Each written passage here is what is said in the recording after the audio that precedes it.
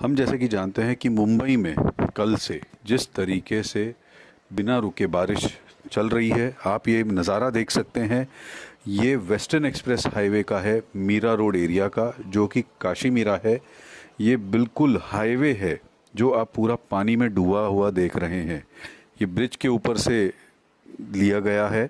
आप देख सकते हैं कि नीचे का पूरा इलाका किस तरीके से पानी में डूबा हुआ है। ये काशीमीरा पुलिस स्टेशन के एकदम करीब और दाराज डाबा का एरिया है।